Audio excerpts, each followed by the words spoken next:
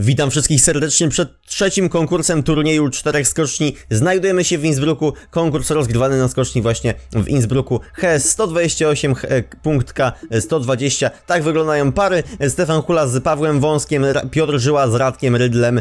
Dalej mamy, gdzie mamy jeszcze jakąś taką polską parę. Tu mamy Jan Habda z Etu Nousiainen. Ciekawa para. Etu Nousiainen był, był bardzo wysoko, zaskakująco wysoko w kwalifikacjach, ale tak jak mówiłem, w kwalifikacjach nie jest jeszcze powiedziane, że, no nie jest w ogóle powiedziane, że, że Etu skoczy tak samo dobrze, a Janek skoczy tak samo e, przeciętnie, no słabo. E, Kamil Stok, Keiichi Sato i Dawid Kubacki, który wygrał kwalifikacje, miał fantastyczne warunki, wykorzystał świetny skok technicznie, no i warunki mu e, sprzyjały, no i tak to, no takie, takie są pary. I tak jak wspomniałem, podczas kwalifikacji konkurs będzie w całości, nie będę dzielić na pierwszą oraz drugą serię, będziemy mieć pierwszą oraz drugą serię w jednym filmie. Rozpoczyna ten konkurs Karl Geiger, który był 26 w tych kwalifikacjach z Angela Niszkiem. Tylko przypomnę, że Angela Niszek znajduje się na drugim miejscu w klasyfikacji, w klasyfikacji turnieju czterech skoczni. Karl skoczył przyzwoicie, 125,5 metra. Zobaczymy jak odpowie mm, Słoweniec. Słoweniec walczy ze Stefanem Kraftem, ale tuż za Słoweńcem znajduje się Paweł Wąsek na trzecim miejscu. To jest dopiero zaskoczenie, ale skupmy się na skoku Słoweńca. Czy będzie zwycięstwo? Nie! Chyba przegra z Niemcem. No, przegrał, przegrał. O ile? No minimalnie 1-4. Nie 1-4, od 0-4. Ta szóstka mi się z piątką pomyliła, ale 40. Wydaje mi się, że Angela Niszek z takim skokiem powinien wejść i tak do drugiej serii. Giovanni Brecedola był 27 w kwalifikacjach, a przecież pr- przecież w ostatnim konkursie w Gapa był na miejscu trzecim od razu. Wow, ależ słabo Giovanni sobie nie poradził. Ogólnie skocznia w Innsbrucku jest bardzo wybredna i naprawdę podatna na błąd zawodnika. E, Teraz, no, w drugiej serii Renni Kaido i wydaje mi się, że Giovanni Brecedola zaprzepaścił szansę znalezienia się w serii drugiej. Mackenzie Boyd Club ze Stefanem Laje. Pierwszy Kanadyjczyk, który był niżej w kwalifikacjach, ale nieźle to wygląda. No, Kanadyjczyk sobie nieźle radzi. No, na razie nisko nad, zeskok- nad zeskokiem leciał w drugiej fazie lotu, ale 123 metry. Stefan Laje musi powalczyć. Stefan Laje, który ani razu nie wszedł do drugiej serii. Może teraz będzie miał szansę Stefan Laje, czy, czy Kanadyjczyk? Zobaczymy. Mackenzie czy Stefan Laje? Jednak Mackenzie, ale Stefan Laje minimalnie też przegrał jeden punkt. I mamy tą polską parę. Stefan Hula 29 miejsce w kwalifikacjach. O, dobrze, dobrze, Stefan, Stefan Hula, ładnie, to był dobry skok, Paweł Wąsek również się musi spiąć. 22 miejsce w kwalifikacjach Pawła, trzecie miejsce w turnieju czterech skoczni w całym cyklu, Paweł Wąsek, świetny skok, nawet może być pierwsze miejsce teraz, tak, brawo dla Pawła Wąska, ale Stefan Hula też skoczył nieźle. I Alex Insam z Andreasem Wellingerem, Andreas Wellinger dobrze w kwalifikacjach, Alex, 30 miejsce, też nieźle, Alex, Alex, ależ on poleciał daleko, wow, co tu się stało, co ten Włoch zrobił? No to teraz e, zrobiła nam się tutaj ciekawa para, ciekawy pojedynek, bo e, Alex Insam skoczył nieźle i chyba dalej od And tak, Andreas Wellinger przegrywa tą parę, to jest zaskoczenie, jak daleko skoczył Włoch? Piotr Żyła był nisko w tych kwalifikacjach, no 31 pozycja, ale może jak Alex Insam skoczył daleko. E, leć Piotrek, jeszcze, jeszcze, dobrze, podobnie właśnie jak Alex Insam, ale Alex Insam leciał troszeczkę jednak inaczej, a teraz Radek Rydl, no to jest też zaskoczenie, bo 20 miejsce w tych kwalifikacjach, naprawdę Radek sobie poradził, teraz Radek Rydl, no ojoj, nie powtórzył, nie powtórzył osiągnięcia i wydaje mi się, że nie będzie drugiej serii dla Czecha. Kolejny braterski pojedynek, tym razem norweski, mieliśmy polski, teraz norweski, Daniel Andretande, Daniel Andretande leci świetnie i daleko. Mariusz Lindwik kontra kontra Daniel, Mariusz Lindwik. Zobaczymy kto wygra. Będzie, myślę, że podobnie, jednak Daniel Andretande o ile? O pół punktu. Markus Eisenbichler, no Niemcy, Niemcy dosyć przeciętnie w tych kwalifikacjach, nie ma co ukrywać. I Markus teraz skacze też, tak przeciętnie. Lowro nie będzie miał raczej tutaj trudnego zadania. Ma też przyzwoite, no, miał dobre warunki. Teraz, teraz ten wiatr Wzmocnił się, wieje w plecy, chociaż 0,8, no nieźle, nieźle, nieźle, no nie wiem, chyba Niemiec jednak, chyba Niemiec, tak, Niemiec wygrywa parę. Ryoyu Kobayashi kontra Christopher Eriksen Sundal z Norwegii.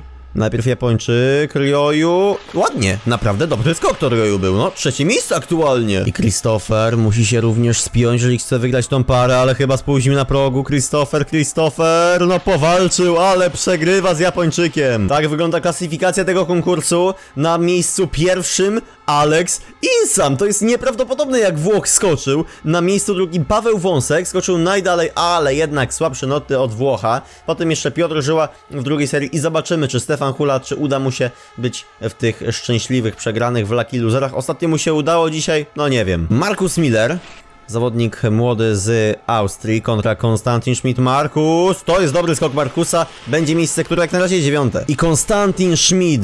Jak Niemiec sobie poradzi? Nieźle Niemiec leci, ale przegrywa w parze, przegrywa parze i to nie, jednak wygrywa, ho, ho, ho, o jedną dziesiątą. Myślałem, że przegra, przecież wylądował bliżej, no nie wylądował za tą zieloną linię, ani nawet, no troszeczkę, no bliżej, bliżej po prostu wylądował, ale jednak o jedną dziesiątą. Kilian Peyer z Bendikiem Jakobsenem Hegli, najpierw, e, najpierw Szwajcar, Kilian, no, w okolicach punktu konstrukcyjnego, skok przeciętny. No, dla Norwega wystarczy w okolicach również wylądować punktu konstrukcyjnego, ale Norweg oczywiście ma chyba większe ambicje i lepszy skok również oddaje. Timi Zajc, niziutko, niziutko w tych kwalifikacjach, zaledwie 37 miejsce, teraz też nie wygląda, oj, oj, oj, oj, oj, leć widać było, no nie było, oj, no ciężko, ciężko będzie. Także Yuki Asato może znaleźć się od razu w serii drugiej, tylko musi wylądować za tą zieloną linię.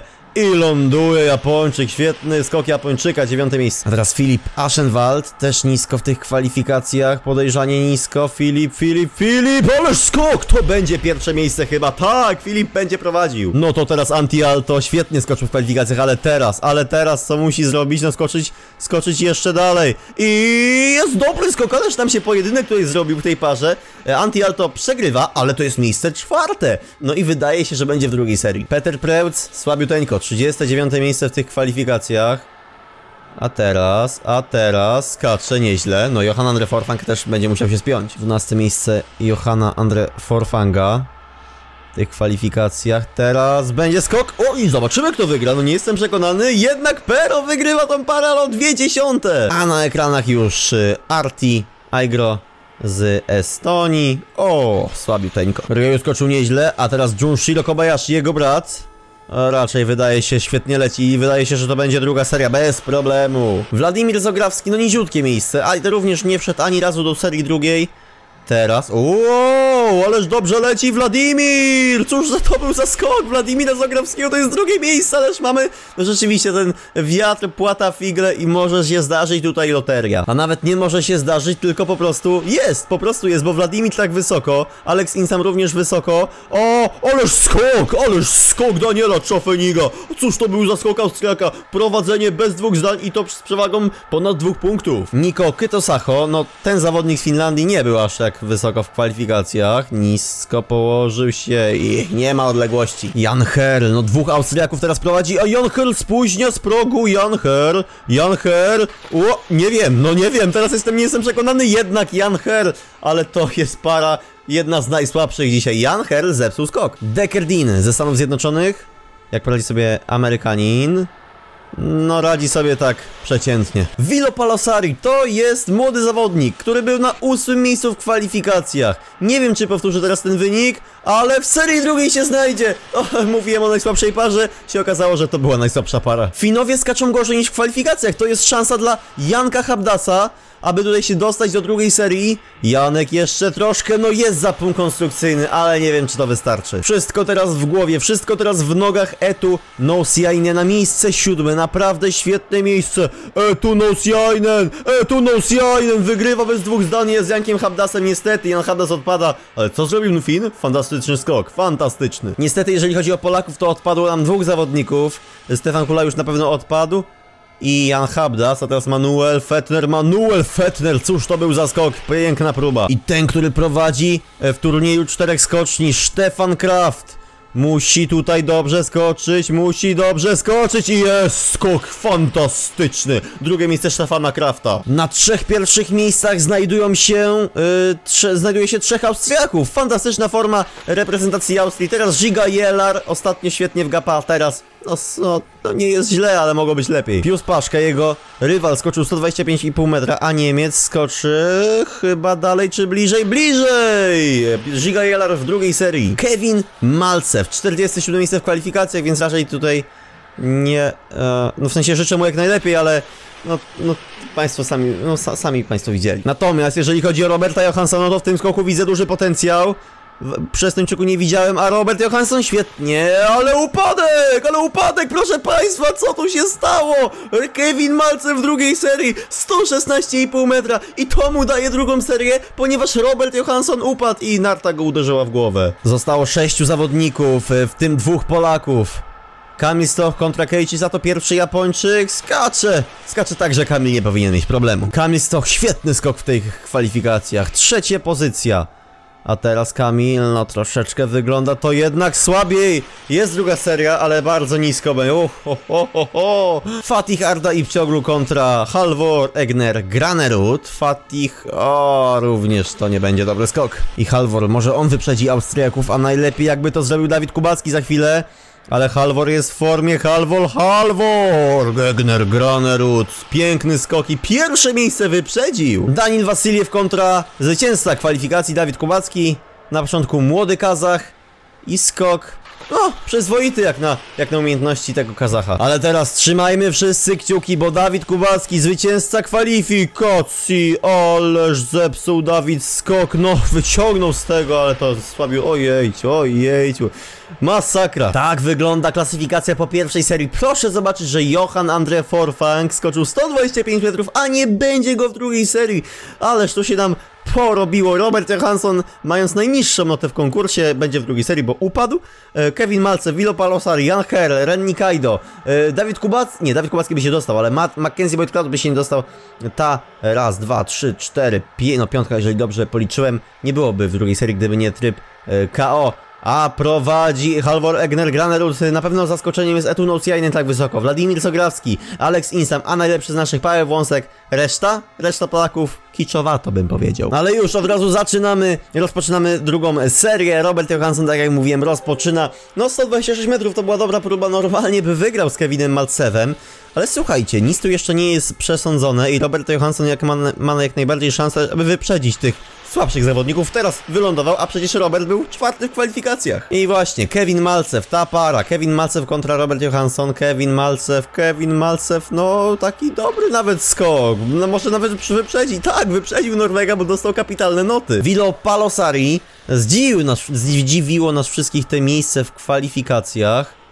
A w konkursie w drugiej serii nieźle, na pewno lepiej niż w pierwszej. Jan Herl, kolejny zawodnik, który był wysoko w kwalifikacjach i znajduje się nisko po tej pierwszej e, serii, ale skacze za czerwoną linię, czyli będzie utrzymana ta pozycja. Ren Nikaido w pierwszej serii 122 metry, teraz o, o, poszedł na narty i to tak odważnie i opłaciło się! Dobry skok Ren Nikaido skoczył. No. Mackenzie Boyd Clouds, jego pierwsze punkty w tym TCS-ie. Też odważnie. Oj, Mackenzie! Mackenzie! Ale skok na upadek! Cóż, to był świetny skok! Świetny skok! 128,5 metra! Nieprawdopodobna odległość, ale niestety upadł. No i Dawid Kubacki, 123,5 metra z, zaledwie w tej pierwszej serii. Teraz... Teraz, teraz, teraz, o, o, o, o, nie poszło mu zupełnie, gorszy skok nawet. I od razu po nim Kamil Stoch, również słabiuteńka próba. Może teraz będzie lepiej, ale też musi trafić na lepsze, lepsze warunki, lepiej. Brawo Kamil, przynajmniej ty, przynajmniej ty. Markus Eisenbichler, no tak Dawidowi e, przypadły te lepsze warunki w kwalifikacjach i wygrał te kwalifikacje, ale teraz Markus, ojejciu, nie tylko, nie tylko Dawid, nie tylko inni skaczą z sobą, Markus Eisenbichler również. Konstantin Schmidt od razu, Niemiec po Niemcu. O, pasywnie, pasywnie, ale ma wysokość, ma wysokość i to się liczy na tej skoczni. Brawo, pierwsze miejsce Konstantin. Bendik, Jakobsen, Hegli. 125 metrów, niezły skok. A teraz będzie, wydaje się, podobnie, nawet chyba dalej, 126? Tak, rozpoczynamy już tą drugą dziesiątkę, bo na 20 miejscu Yukiya e, Sato, agresywnie, agresywnie, niziutko i nie ma odległości. Peter Preus zdecydowanie się poprawił w tej pierwszej serii e, w porównaniu do kwalifikacji.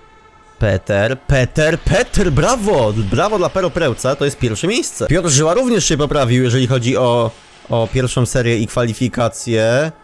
A teraz skacze, no i no nie ma tej odległości, coś zgasło w powietrzu, nie było. Może warunki, nie wiem, ale piąta pozycja zaledwie. Piotr Żyła będzie w najgorszym wypadku na miejscu 22. To jest, to był słaby skok po prostu w wykonaniu Piotrka.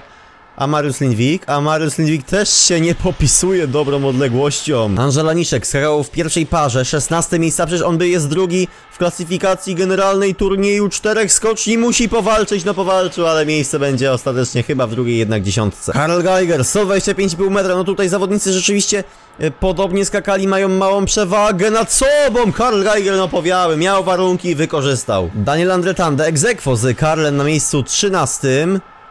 Zobaczymy jak sobie Daniel poradzi, ale poradzi sobie gorzej niż Karl. Kolejny zawodnik egzekwo na miejscu 13. Giga Jelar. Oj, tam błąd przy wyjściu z progu i niziutko się znajduje i słabiuteńki skok spadnie na 12 miejsce teraz. Anti-Alto, dobrze, dobrze sobie tutaj Finn radzi. Czy w drugiej serii również wytrzyma presję? Chyba tak, chyba tak. Finn wytrzymał presję, to będzie chyba prowadzenie. Brawo dla Fina. Ryoyu Kobayashi, miejsce 11 Japończyka. Uuu, spóźniony, spóźniony skok. Ryoyu jeszcze wykrzał. Nieźle, nieźle. Przy takim wybiciu i tak niezła odległość. Obok Ryoyu jest Junshiro, Junshiro, ale również spóźni. Oj, bracia spóźnili, bracia oboje spóźnili. I upadek jeszcze Junshiro Kobayashiego. Kroczyliśmy przed chwilą w tą najlepszą dziesiątkę. Paweł Wąsek, no może Paweł, leć daleko. Potrzebujemy dobrego skoku w wykonaniu Polaka, ale nie ma tego skoku. Polacy fatalni w tej drugiej serii. Potężne zaskoczenie, e, jeżeli chodzi o Alexa Insama. Położył się na nartę agresywnie, Alex Insam poradził sobie, wytrzymał presję, miejsce piąte, będzie naprawdę wysoko. Manuel Fetter, 127 metrów, no już trzeba powtarzać takie dalekie skoki, jeżeli chce utrzymać miejsce w czołówce. W okolicach 125 jest na miejscu drugim teraz. Wladimir Zograwski wcześniej nie punktował, nie było go ani razu w drugiej serii, a teraz, a teraz skacze daleko, Daleko, bardzo, bardzo daleko Władimir Zagrawski skończy, skończy wysoko, to jest pierwsze miejsce Bułgara, cóż on zrobił? Nie chcę tutaj nic mówić, ale jednak trzeba to powiedzieć, że to może być nawet atak na podium w wykonaniu Bułgara, to by była sensacja i to nie mała. Grzegorz Sobczyk odniesie i tak wielki triumf, ponieważ zostało czterech. Bułgar będzie w piątce. Na pewno będziemy mieć wysokie jakieś zaskoczenie, bo albo Fin, albo Bułgar, albo Fin i Bułgar. Zobaczymy jak sobie teraz poradzi Etunousiainen. Dobry skok Etunousiainen na miejsce trzecie. Będziemy mieli dwa zaskoczenia w czołówce. Stefan Kraft wybi w wybitnej formie jest Stefan. Zobaczymy, czy będzie również skok. Tak, już widać, już widać. Stefan Kraft. Oleż skok! No przecież to jest klasa światowa. 128 metrów. Ależ bomba w wykonaniu Stefana Krafta. Daniel Czofenik teraz przed nami, również świetnie Daniel, będzie miejsce w czołówce, będzie miał swoje podium, Daniel Czofenik. Proszę zobaczyć jak przed ostatnim skokiem wygląda klasyfikacja generalna, dwóch Austriaków, Bułgar, Bułgar może być na podium, zobaczymy, albo Halvor Egner Granerud na podium, albo Wladimir Zograwski, potem dwóch Finów, Polacy bardzo, bardzo i jeszcze raz powtórzę, bardzo słabo. Bym nie powiedział nawet, że tragicznie. Kamil Stach na miejscu 14. Mm, najlepszy z naszych. Piotr Żyła na miejscu 16. Paweł Wąsek na miejscu 18. Dawid Kubacki. Przecież on wygrał kwalifikację, a w konkursie fatalnie. Na miejscu 24. I ostatni e, w, tych, w tym konkursie. Drugie miejsce w kwalifikacjach. Pierwsze miejsce po pierwszej serii. Halvor Egner Granerud. Halvor leci, Halvor leci i nie doleciał, miał fatalne warunki, półtora metra sekundę wiatru w plecy, co oznacza, że Stefan Kraft wygrywa i utrzymuje pierwsze miejsce na pewno i umocni się na pewno w klasyfikacji e, turnieju czterech skoczni, ale co mnie e, bardziej zaskoczyło, no, no to mnie w ogóle nie zaskoczyło, ale to co mnie zaskoczyło, Wladimir Zograwski na miejscu trzecim, a po nim dwóch Finów. Zobaczmy więc jak wygląda klasyfikacja TCS-u. Stefan Kraft na miejscu pierwszym i ma przewagę bardzo dużą. Tutaj raczej nie powinno się nic mu złego przydarzyć. Daniel Szofenik wskoczył, no a nie spadł Michel Hajbek. Michel Hajbek, no i nawet nie wiem gdzie on jest, ale na miejscu czwartym Paweł Wąsek jest jeszcze szansa. Egzekwo z Piotrem Żyłą mają taką samą szansę na zajęcie w sumie któregokolwiek miejsca. Potem jeszcze Kamil Stok na miejscu 9, Dawid Kłacki na miejscu 15, Stefan Hula nie punktował, tym razem w drugiej serii go nie było na miejscu 21 i Jan Habdas na miejscu 42. Wladimir Zograwski, podium, co tu się wydarzyło? Ja dziękuję wam za uwagę, zostały nam jeszcze, został nam jeszcze konkurs Bischofskofen, ale to w kolejnym odcinku, w kolejnym odcinku będą kwalifikacje, a potem konkurs sobie rozegramy. Na dzisiaj to było tyle, mam nadzieję, że wam się e, ten konkurs, te, ta seria podoba, jeżeli tak, to fajnie jakbyście zostawili łapeczkę w górę e, pod tym filmem za zasubskrybowali mój kanał, jeżeli jeszcze tego nie robicie, będzie mi bardzo miło. I to by było na tyle. Do usłyszenia, do zobaczenia. Cześć!